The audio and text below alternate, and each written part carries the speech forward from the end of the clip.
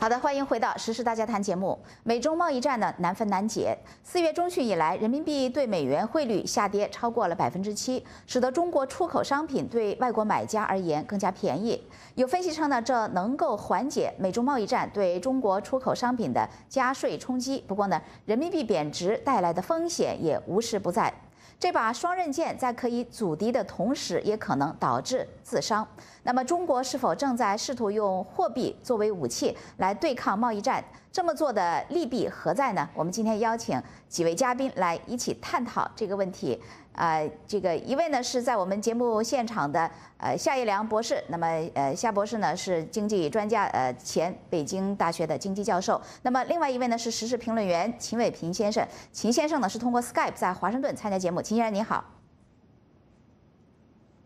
嗯，好的，非常感谢。那么还有第三位是上海的叶檀博士，他因为今天在旅行之中，他的飞机有所延这个延误，我们在随后呢会随时的把他接进来。我们欢迎两位，同时也欢迎各位观众、听众以及网友拨打美国之音的免费热线电话参加节目的讨论，号码呢是四零零一二零零五五一四零零一二零零五五一。您还可以通过 VOA 卫视在 YouTube 的网上直播来收看，并且加入我们的现场讨论，网址呢是 YouTube 点 com 斜线 VOA。China，那么首先第一个问题，我想请问在节目现场的这个夏一良博士啊，那么呃，根据坊间的观察呢，人民币呢是在持续的走低，从四月中旬开始，实际上我们也有一个这个截屏，请我们的这个呃导播呢把这个截屏拿上来给我们的。这个观众朋友一起来分享。那么，呃，明显的可以看到呢，这个图片显示呢，从四月中旬开始呢，这个人民币是一个呃这个呃走低的这么一个过程，美元呢是走高的这么一个趋势啊。那么，《纽约时报》是说，他说这个呢是一个异常大的这个变化。那么，请您跟我们分享一下这个《纽约时报》为什么这么说？说这个异常的变化到底是一个怎么回事？呃，其实我们要看最近这些年来人民币的总的一个大的趋势，它是贬值的。是啊。在将近三年前，也就是二零一五年的八月十一号，也是有比较大的贬值。那次贬值的幅度差不多是百分之二。呃，那么那个时候呢，当时也是有很多人评论说，到底出现了什么异常啊？其实这个跟呃，一个是中国实体经济的这样的一个内在呃结构啊，它的这个实际的运行状况有关系。还有呢，跟这个外汇储备以及这个人民币在国内的这个币值表现有关系。啊，那么我们看到的现在就是说，呃，经过所谓呃汇率形成机制改革十来年时间了，中国仍然没有实现人民币的国际化，仍然没有实现人民币可自由兑换。那我们知道，二零零五年七月二十一号，当时中国是正式宣布要形成一个新的汇率形成机制，啊，也就是说允许人民币在一定的幅度里边上下波动。啊，那么当时我就连续写了几篇文章，我说人民币升值时不我待。啊，我觉得那个时机呢，是当中国经济呢总体是向上，那个时候呢，应抓紧时机啊，让人民币升值。但是后来呢，他们延缓了很久，是吧？到后来他想升值的时候，那个时机呢，呃，已经不像以前那么好了。所以现在的情况呢，已经不是升值的问题了，而是贬值。就是中国经济年年呢在走下坡路啊，整个的这个投资环境，还有这个金融体系内部的这个问题不断。啊，金融风险聚集到一个非常严重的地步，所以在这种情况下，人民币一个中长期的趋势非常确定的就是贬值。啊，这不是说中共为了打这场贸易战才有意让人民币贬值。啊，它这个呢现在可能也是赶巧了，碰上这样一个时机，说起来好像是有应对方面的好处，但实际上它人民币的这个贬值是由它的自身的呃整个中国经济的状况。这些内在的原因所决定。嗯哼，好，谢谢夏先生。那么接下来我想请问这个在 Skype 上的戚伟平先生啊，那么您怎么看？刚才夏先生是认为呢，这个贬值呢其实跟贸易战没有太大的关系。那么其实中国政府呢自己也是这么解释说，这个呢跟贸易战没有关系，只是一些这个贸易之外的其他的一些经济因素所导致的这个人民币的贬值。您的看法？我们最近看到呃中国人民银行一个表态，他说人民币汇率由市场决定的，这个就是很有意思。我们知道中国政府。啊，对于人民币汇率，特别是官方汇率，一直是严格控制的，包括外汇啊管制。那人民币汇率的确现在是不能正确的表现它自己的一个呃购买力。呃，我认为说人民币啊，说实话它是严重被高估啊，它应该贬值，而且是大幅度的贬值。但是在过去的从二零一五年刚才提到到二零一六一七到现在二零一八，这个人民币的走势 确实是非常蹊跷，特别是二零一七年，二零一七年本应该在。二零一六年底的六点九六之后，然后继续贬值，正常情况下按照呃它的货币供应量、它的购买力水平、经济发展状况。二零一七年应该继续贬值啊！如果是一路贬到现在的话，大家可能就不会觉得太吃惊，《纽约时报》也不会写这篇文章。但是二零一七年很奇怪、很蹊跷呢，反而在逆势升值啊，从六点九六升到最低的时候大概六点二、六点三左右了。那呃，那这个时候呃，现在从今天开始又又反而又往上涨啊，这说明什么呢？中国政府在背后呃还是起了相当的作用的，并不是完全市场决定的啊。在去年二零一七年，它这样升。啊，人民币升值呢，是因为啊，他想跟美国啊新一届政府搞好关系，然后啊升值之后呢，对出口来说可能对有一定抑制作用，对缓解中美贸易的这种啊这种数据的表现可能会有好处。但是发现二零一七年啊升值之后啊，整个出口贸易这个双边贸易达到一个历史新高，然后双边的贸易差额是高达三千七百亿美金，所以。啊，川普呢也也实在是受不了了，今年开始正式开展贸易战。那这个时候，中国其实没有太多的牌可以打。那之前谈判基本上都失败了，而且目前为止我们看不到任何一个缓解的迹象。那中国政府采取的一个措施呢，就是它不干涉人民币去继续去升值，让它自己去任由这个怎么说呢？大家公众啊。对这个人民币的信心取舍，自己自己去变化，那这样的话，人民币自然就啊会啊一路下跌。那其实现在这个下跌的幅度其实只是刚刚开始，我认为。那中国政府呢也很担心，说他如果放松这种控制，啊放松对于人民币的啊干涉，啊人民币如果真的是一路这样跌下去，比如说跌到年底要跌破八的话，它可能也会引起很大的一个恐慌。所以实际上我们看到这次人民币啊今年的升值，它。那今年的贬值，它没有啊干涉，但是呢，实际上啊还是还是采取了一些小动作来保证它不不至于说一跌到底。所以经常看到一个现象就是啊走三步退两步，走三步再退两步，慢慢的啊啊那个贬值。现在贬到百分之七、百分之八，其实是呃采取了一些迂回的动作，大家可以看得到。啊，接下来我们可以一起继继续观察这样的一个现象。好，谢谢秦先生。那么，呃，夏一良博士，我再问你，就是说，两位呢对这个人民币的这个币值究竟是高低是意见是不一样的。那您认为是人民币应该升值的原因是什么？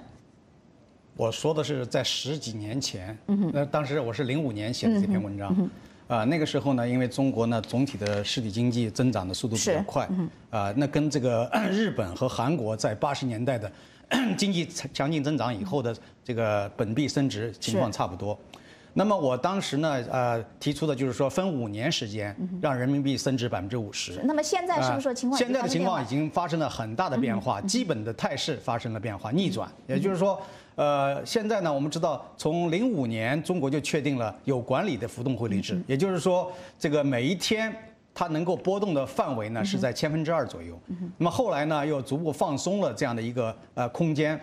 然后呢现在的情况就是说这个当人民币呃它的币值不符合中央特别是中央货币管理当局的需求的时候，它可能在必要的情况下可以用动用外汇储备进行干预，就可以买进，比如说这个买进人民币卖出美元，这样的话可以让这个人民币币值上升，反过来它也可以呢。就是说，这个它抛售啊，它比如说这个抛售这个呃美元啊，或者是它抛售人民币，来使得这个人民币的币值发生不同方向的变化。所以呢，它这个干预是一直有的，就是说，只不过它不是经常要采取这样的措施，而是说它在必要的时候可以采取这样的措施。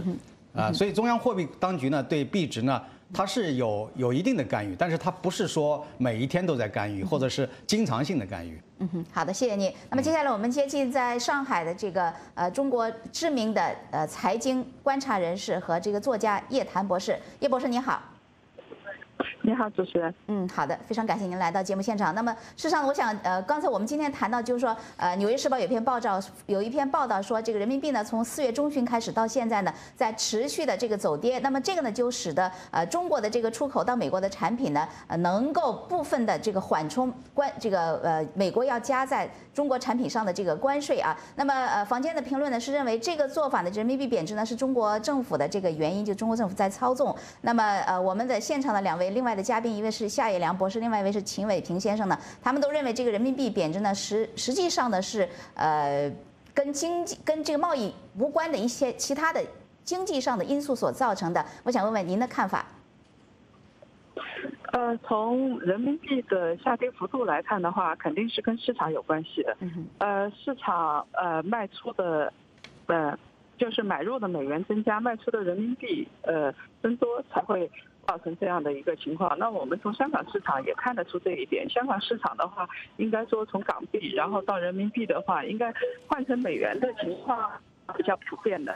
那么另外一个呢，也跟呃最近的呃贸易政策会有一定的关联，因为我们看到的话，呃确实中国是一个出口大国，那呃呃它要保持一个贸易的稳定。如果说在关税上升的情况下，那很多国家都会采取呃汇率的调节的措施来保证呃一定程度的出口的竞争力，否则对于出口的影响。呃，会比较大。另外一方面，我们也看到最近的市场，呃，人民币下跌的话，应该是没有一个太大的阻力，呃，没有一个有形的手去拖人民币。因为我们看到在境外的人民币市场里边，它的拆借利率，人民币的拆借利率也不高，所以说，呃，没有有意的想要去扶持人民币。嗯，好的，谢谢叶檀博士。那么其实，呃，叶博士，我还想再问您，就是说呢，呃，就目前的中国的这个经济状况而言的话呢，它是不是符合现在这个人民币走低的这么一个总体的趋势呢？那么具体的这个经济因素有哪一些？叶博士？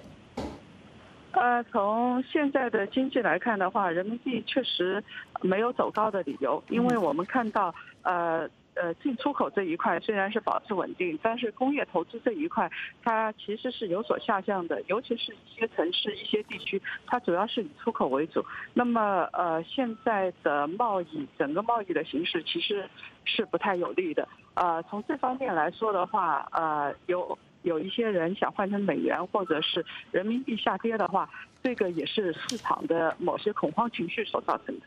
嗯哼，好的，谢谢叶檀博士。那么接下来我们来看我们的听众观众有什么话要说。首先呢，来接听几位观众朋友的电话。第一位呢是北京的唐先生，唐先生你好。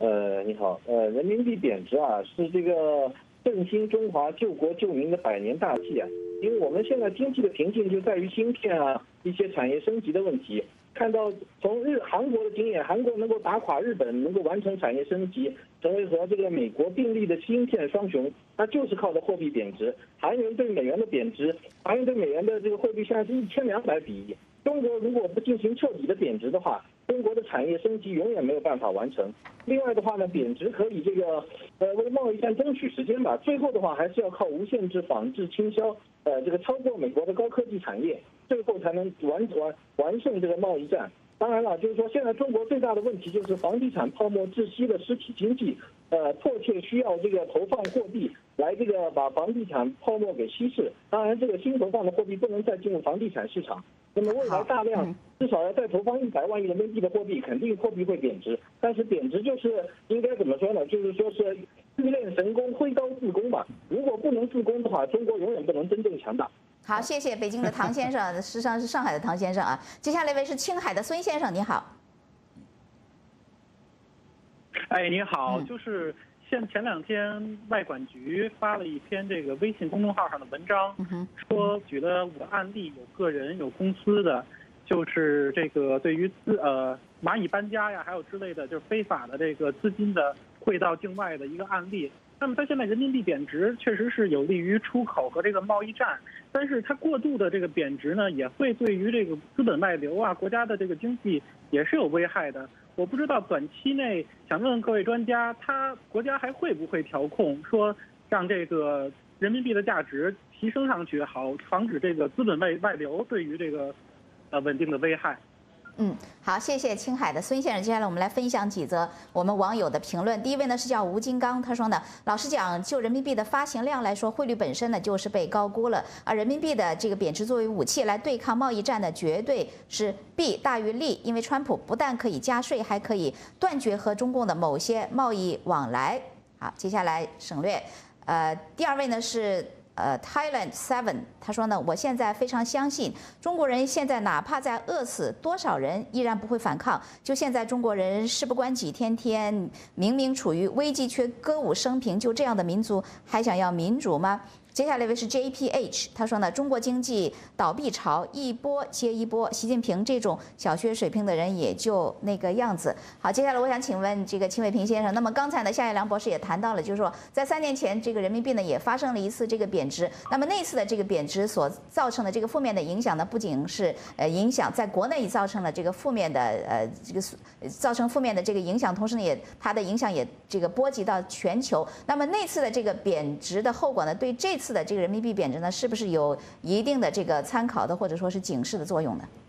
哦，我觉得呃，三年前就是二零一五年的贬值和现在的贬值不太一样。二零一五年贬值可以说是呃政府是有意为之，因为啊当时的出口形势也不好，他希望通过这样一个呃汇率调节的方式呢，能促进出口，试试图改变这样的一个局面。那现在这个贬值，说实话，呃现在的情况，那个货币供应量的情况比三年前也发生很大变化。啊，我如果我们细心的观众如果发现的话，啊，人民币贬值这个话题，啊，我们讲的只是说对外而言，对内而言，其实人民币这么多年是一路贬值，一直在贬值，只是有些时候对外而言是外升内贬这样一个很不正常的一个情况。那这次贬值力度是，呃，如果放在更长一段时间是超过那个二零一五年，让大家觉得有点诧异，其实根本就不用诧异，一个是正常的，真的是市场价值的一个回归，体现了人民币被大家，呃。怎么说呢？大家知道它的一个购买力也好，或者说它前景不妙，造成一定程度的一个恐慌情绪。其实更大的，怎么说呢？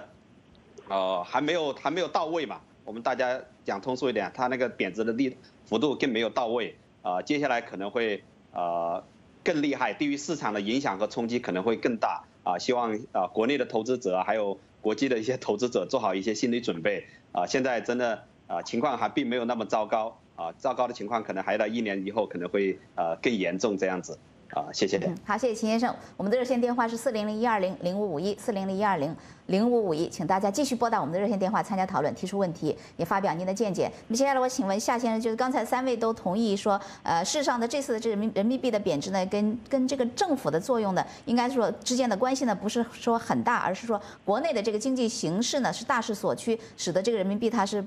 自己要这个要自行的走地。那么刚才呢，这个这个也有一方面跟政府的关系很大，就是货币发行量的问题。就是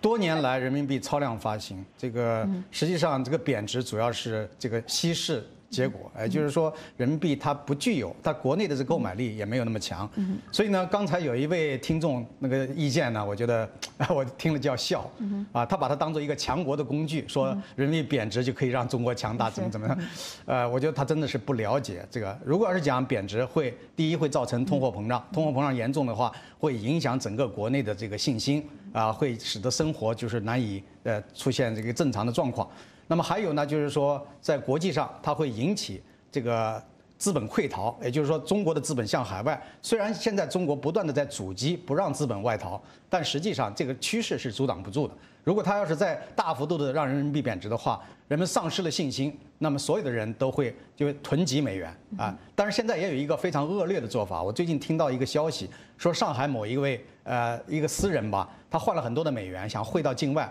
但是还没没来得及汇，不让汇。然后现在突然呢，把它强制结汇变成人民币了，这种事情我不知道是真的发生了吗？如果要是真的发生的话，是很可怕的一个信号。因为过去在计划经济时代，那就是把老百姓的哪怕是外汇、亲戚寄来的外汇都强制结汇，这种做法还有企业的出口啊，啊也都是强制结汇。这种做法的话，显然是违背市场经济的本本意的。所以这个做法是一个完全大倒退的开始。啊，所以我希望不会真的这样啊！如果这样做的话，很可怕。嗯，好的，谢谢夏博士。那么接下来，我请问在上海的这个叶檀博士啊，那么事实上呢，大家都看到这个人民币贬值，是这个分析呢也说，人民币在某种程度上的贬值呢，是利于中国的这个出口。那么对付这个美中之间的这个贸易战的关税的压力是有一定的作用。事实上是说，它是最有效的一个工具。我想请问你，就是人民币贬值在多大程度上和这个多长的这个时间之内会对中国的呃出口有利呢？呃，人民币贬值的话，它其实还是取决于呃呃国际的经济形势以及国内的这个出口的形势以及成本的高低的问题。我们知道，如果是我们的呃内部的生产效率比较高，经济实力比较强，那么在人民币贬值的呃过程当中，它可以获得一定的缓解，那么呃出口优势不会因此下降。我就这么说吧，如果说关税上升了百分之十，那但是呢，同时呢，人民币又贬值了相应的幅度，这样子的话，我们的整个的出口会保持一个稳定。那么前的出口大国，比如说日本，它在呃发生呃金融战或者贸易战的时候，我们看到它也做过这样的事情。呃，比如说它被迫日元上升，汇率上升，那这个对于日本的出口是非常不利的。那这时候它只有在国内来放松它的利率。来缓解，但是呢，又又造成了非常大的资产泡沫，所以我们现在一方面要保持呃外汇储备的稳定，比如说这个三万亿美元呃。美元这个外汇储备不能消失的太多，否则的话会对长远造成非常大的影响。另外一方面呢，在出口我们要保持一个基本的平衡，就不能出口下降太多，这样子会造成失业啊这些一系列的压力。所以现在这个人民币汇率是呃一。个没有选择的选择，那么我们现在还是要付出一定的代价，也就是说，人民币贬值确实有可能造成一些资金外流啊这些现象，那么。因为人民币的资本项目一直是没有全部开放的，现在有可能收得更紧一点，这种情况是会发生的。那将来的情况怎么样？事实上是取决于这个内部的效率。比如说中国的产品，如果它效率很高，确实成本比较低，那么呃，人民币汇率下行，它可以争取一定的时间。如果说我们的产品呃。内部的成本压力非常的大，那么呃质量也会有些问题的话，即使是人民币汇率下行，争取到了一定的时间，半年也好，一年也好，争取到了一定的时间，但是这样子从长期来看还是不利的。所以呃我们还是拿日本来举例子，日本的汇率在打贸易战之后，日本的有的产业起来了，有的产业下行了。比如说日本的汽车产业，我们知道经历了贸易战，它还是越挫越勇。了这个行业，它的竞争力相当不错，但是日本有的行业就下去了，而且是很难起来，比如说半导体行业。那么国内，呃，中国国内也会发生这样的情况。我们国家因为通常来说的话，呃，有一些呃，比如说组装啊这些，呃，或者有一些机械比较好，但是另外一部分呢，呃，有可能成本上升，它的竞争力会下降，比如说低端的制造业。嗯哼，好的，叶檀博士，呃，事实上您提到了这个日本的问题，我觉得非常的有趣，就是我希望您能够呃再详细的谈一谈，就是日本当年的这个经济的迅速崛起以及它后来的这个呃这个萎缩呢，跟中国进来的这个情况呢，是不是有一些这个相似之处？呃，相似之处还有呢，它这个有哪些不一样的地方？它可不可以被作为一面镜子来照今天的中国经济的这个发展呢？呃，我认为还是在呃很多的角度是有借鉴的作用的。比如说，当时从五十年代上世纪五十年代开始，日本的纺织业，那么呃它对在全球的出口比较大。到了八十年代呢，它的呃家电对于全球的出口比较大。那么我们知道，八十年代其实它每过十年基本上就有一个贸易战，是针对不同的行业的。那中国现在的情况呢，呃基本上是呃它。覆盖的行业比较多，而不是说某一个时期针对某个行业有特殊的贸易战。那中国跟现在呃跟以前日本不一样的地方是，我们确实还没有完成工业化，呃就是呃中国的很多重要的问题还没有解决。你比如说工业化的问题，我们知道这个中高端的制造业这一块，事实上还不像当初的日本呃这么有竞争力。另外一方面呢，中国还没有完成城镇化。比如说，中国现在还是有户口制度的。那从户口上来说的话，百分之五十以上中国还是农民，这就意味着这些人是要到城市里边去的。他需要工业来进行支撑，没有基础的工业，那中国的城镇化没有办法完成。这些基础是跟当时的日本不一样。所以当时日本贸易战和金融战经过冲击之后，我们可以说日本还是一个工业强国。但是中国的话，呃，事实上在基础不一样的情况下。我们必须要采取一些手段来保证基础的工业不垮。如果基础工业垮了，那么对于内部，其实对于普通的那些就业者，对于白领，他会有非常严重的打击。嗯，好的，谢谢叶博士。那么接下来我想请问，在华盛顿的这个秦伟平先生啊，那么事实上呢，今天我们看到有一个新闻，就是昨天呢，川普在白宫会见了这个欧盟委员会的主席容克，那么就是说美国和欧盟之间已经达成了这个呃贸易战的这个协议，就是说呢，双方同意建立这个零关税的框架。那么这样一来呢，就是说可以说两双边呢是避免了这个贸易战。那么这样一个做法呢，对美中之间的这个贸易战呢，是不是有一个这个借鉴作用？那么美中之间是不是也有可能走？走到这么一个光辉灿烂的一步呢？啊，美 我们啊很乐于见到美欧之间达成这样的一个新的协议，让整个美国欧欧盟之间的这个贸易争端现在开始暂停啊一下了，然后有未来有可能会啊前景会更加光明。当然，美中贸易冲突跟美欧之间应该是有啊性质的不同，因为啊美国跟欧盟之间那个价值观基本是一致的，他们没有一个本质上的冲突，但是。啊，中国跟美国之间，我认为它不光是这个贸易不平衡的问题啊，呃，更多的是价值观的啊内在的这个这个冲突，这个冲突短期内是很难以解决的，所以呃，我们很难看到美中之间可以通过呃贸易谈判来来去解决。比如说美国谈的条件，中国根本就不答应。美国现在也呃明确的表示说，啊，中国的最高领导人习近平啊不太同意啊继续继续去谈判。所以我们看到啊，事实上。啊，美中 贸易争端开始以来到现在为止，他们尝试过努力，双方都尝试过，包括美国现在其实也愿意跟中国一些机会去啊去谈判，但是中国呃表表现是非常非常强硬。这里面可能呃跟欧盟不一样的地方，除了说啊大家的价值观不一样，中国面临的这个呃国内自己的一个经济形势、政治形势也不太一样。现在美国可以说那个贸易战呃。打起来之后，对中国的经济的影响可以说是雪上加霜。中国基本面啊，经济基本面其实啊，并没有像官方说的那么好，实际上是蛮糟糕。而且政治上呢，也会面临非常多的挑战。那比如说这个贸易战真的是开打之后，可能会造成更多的一个资本的外流，更多的啊企业外资企业撤退，那对中国的就业啊、社会问题啊都影响非常大。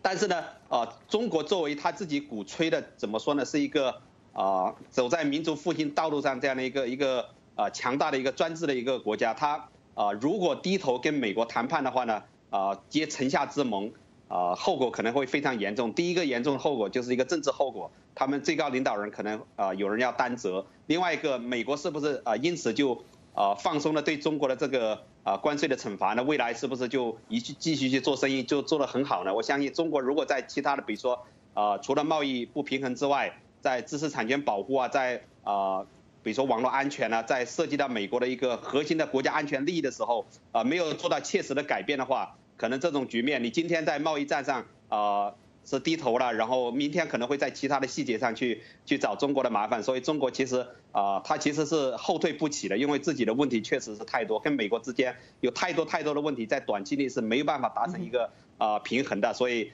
所以我们看到中美之间这个贸易战的谈判前景是非常非常不乐观。所以中国政府其实已做好了最坏的一个准备。现在我们看到了这个人民币贬值，我们今天谈到这个主要的话题，其实虽然不是说是中国政府有意为之，但是可以这么说，是他默许的啊。这样的一个可控的贬值是以有利于中国利益、有利于中国政府的，包括它的外汇储备的安全、中美贸易的总的一个一个基本的一个平衡，包括国内的一些。呃，外资的一个情况，短期内是这样，但是，一旦这是一个双刃剑，如果说，一旦这个人民币贬值是失控的话，那这个可能也是一个灾难性的后果。啊，目前。啊，可能中国政府是非常非常紧张，出现这样的一个后果。谢谢。嗯哼好，谢谢您。那么，夏彦良博士，我想问您，就是呃，习近平呢在金砖五国会议上特特别提到这个贸易战，那么他说是反对这个贸易战，贸易战打起来对谁都不会有好处，那么这会损害国际社会的这个集体利益啊，这样做的人只会伤害自己。那么与此同时呢，我们也看到刚才提到的这美国和欧盟之间在这个贸易战的问题上已经就是说已经避免了这个贸易战。那么你怎么看这个习近平的这番讲话呢？他究竟是有任何？的这个实质意义呢，还它只是一个空泛的谈一谈。那么它和美国总统川普之间的在贸易战上的这个立场之间的距离有多大？这是中国一贯所用的一个套话，讲了很多年了。但是现在今年不一样了，今年这个贸易战不是说有没有可能打的问题，而是打到什么程度的问题。那么现在呢，讲到这个美国跟欧盟之间的关系，大家知道昨天他们签署了这个呃协议声明，然后呢，这个声明中也表明，这个以后呢要消除美国跟欧盟之间的贸易障碍，啊，无关税、无贸易障碍，啊，也没有补贴。那么这样的话呢，就造成这两个最大的经济体之间的这样的一种联合。那么对中国来讲，压力是非常大的。所以刚才有人说贬值能够让啊美国的这个贸易战这个效果都丧失，我不这么看。因为现在这个美国跟欧盟之间的贸易额达一万多亿美元，那么中国呢出口额五千亿美元左右，对吧？那么现在即使人民币贬值，也是回天无力的。我认为是没有办法从根本上挽救这样一个败局。那么再加上欧盟跟美国的这个人口加在一起呢，是八点三亿，差不多是世界总人口的接近百分之十二。那么这样一个呃比较大的经济区啊，就是说联合成这样一个呃贸易自由区的话，那么对世界经济的进步，尤其是自由贸易是有相当大的好处和促进。所以我觉得接下来美国还会重塑很多的国际框架，包括 WTO，包括联合国，还有很多新的这个国际架构。如果这些东西都能形成的话，那么就会对战后的国际秩序进行一个彻底的更新和改造、升级。我觉得这个是呃，应该说对整个世界的这种和平、安宁与进步是有着重要的促进作用。嗯，好，谢谢夏教授。接下来我想请问，在上海的叶檀博士，那么刚才我们谈到的就是美国和欧盟之间呢，已经呃同意建立零关税的这个框架。那么有评论说呢，这样的话呢，可能呃。这个不管是美国还是欧盟呢，它都有自己一些这个比不过对方的这个产业，会不会受到威胁？比方说美国的汽车质量就没有欧洲的这个汽车质量那么好，那么是不是这使得美国呃这个汽车行业呢会因此败下阵来？那么呃从这点我们也是不是可以看到，就是呃不管是美国还是盟欧盟呢，对自己都是有某种特别强大的这个信心？我想问你，他们各自的这个信心是来自哪里？呃，其实现在就是国际贸易秩序的新的变化。我们看到美国跟这个欧盟之间签立的是一个框架，事实上真正的呃讨论到细节了，有非常重要的成功的是呃日本跟欧盟之间。我们知道这在这个汽车关税和农产品方面，呃已经达成了这这个八年的呃。呃，或者是更近的一个协定，那么呃，在呃事实上降低关税的话，其实对于双方呃都是有利的。我们知道，在不同的经济体，它的优势是不一样的。你比如说，日本的汽车业事实上比欧洲的竞争力有可能更强，那美国的汽车业的竞争力相对来说会弱一点，欧盟也不是太强。那么在这个日本。呃，欧盟放开汽车关税的时候，它是需要得到一些补偿的。比如说在农产品方面，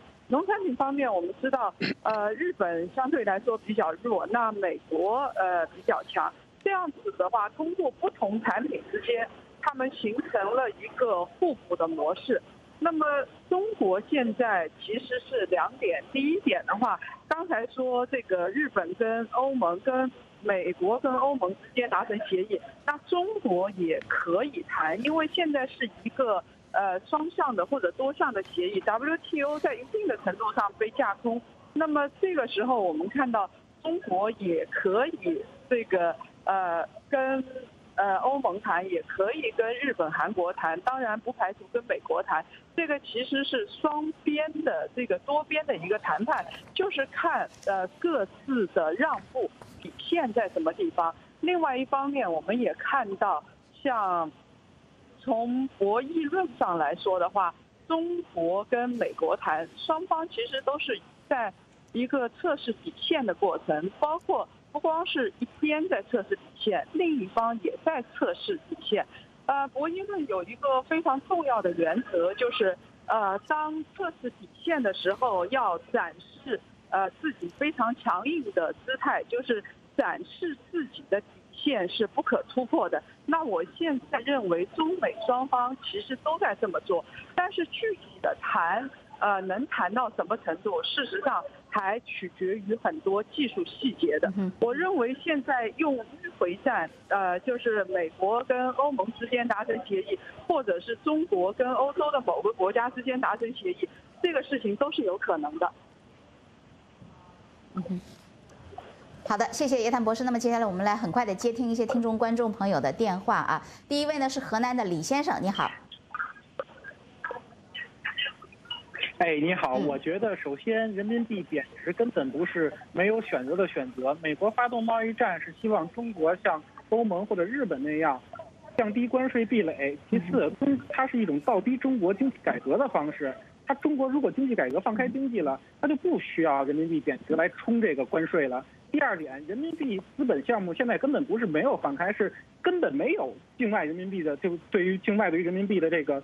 资本的这个项目，它现现在个人人民币跨境结算都不允许，它哪有人民币这个资本项目？第三点就是人民，就是中国的这个产业优势跟日本没法比较，它不可能像日本一样存活过去。中国的这个产业低端制造业的比较优势，完全是由于畸形的经济体制产生的，它的比较优势完全就是因为你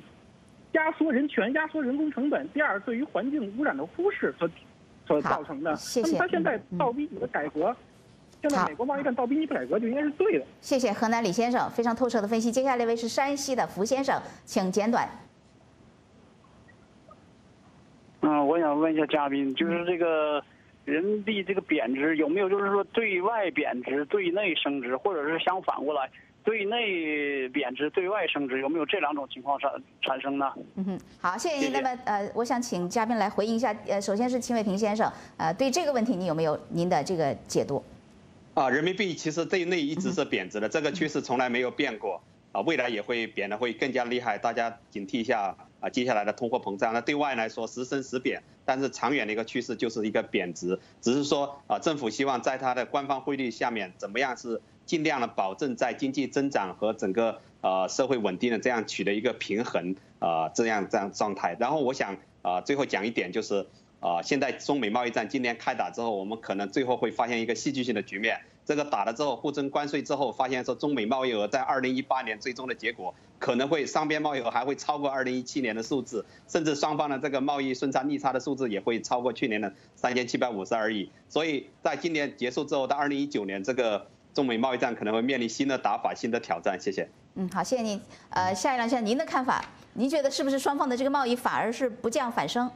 呃，首先回答刚才那个问题，就是说，呃，人民币对内和对外的币值的问题。好，实际上，如果人民币是一个国际化的货币，是一个开放的体系，金融市场全面的开放，资本项目全面开放，那么就必然就是内外的这个呃价值应该是相等的。也就像美元，美元它在国际上它是可以自由流通的啊，自由结算啊，所以也可以被人们作为储藏货币啊支付手段。那么人民币。一直说朝着这个方向去努力，但是呢，迟迟不见啊确切的时间表。所以呢，这种怪象并不是说一个币值应当有的，它是在中国这样一个特殊的制度和一个半封闭的环境下所造成的。